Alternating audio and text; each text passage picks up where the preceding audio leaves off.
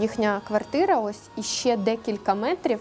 От і, і все. Тому що так їх кухня і все. і Нічого Их квартира еще несколько метров и все, потому что их кухня и все, и дома нет. Родители Сабины жили в доме, в который 14 января попала российская ракета. Квартира была на четвертом этаже. Супруги чудом выжили. Отец Сабины до сих пор находится в больнице. Сразу после теракта на месте родителей девушка найти не могла. Маму спустя несколько часов обнаружила в больнице. Ее уже прооперировали. Отца медики привезли позже. Починаю плакати, він почув мій голос. Я беру його за руку, к- і він каже: дочечка, це ти? Я кажу, «Так, Я це начинаю ти, це плакать, я». он услышал мой голос. Он говорит, доченька, это ты? Говорю, да, держись. Плачу. И он сказал, все хорошо. И врачи уже меня подвинули и повезли его. Тот день Сабина хотела поехать в гости к родителям со своей семьей, но планы изменились. Они остались дома. Это и спасло их. 14 января из-за попадания ракеты в жилой дом погибли 46 человек, среди них шестеро детей. Спасатели, которые трое суток искали людей под завалами, говорят, в их практике это были самые серьезные разрушения. Найскладніше це бачити Самое сложное видеть, как достают погибших из-под плит.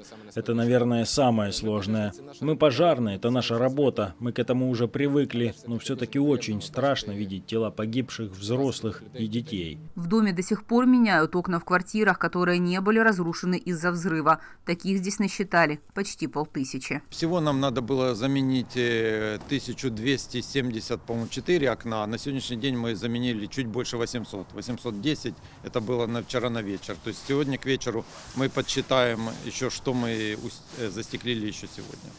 Без жилья остались более 100 семей. Их квартиры или полностью разрушены, или повреждены настолько, что восстановлению не подлежат.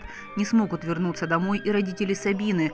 Ее маму уже выписали из больницы. Но ей предстоит еще одна операция. Необходимо извлечь осколок. Отец до сих пор остается под присмотром медиков.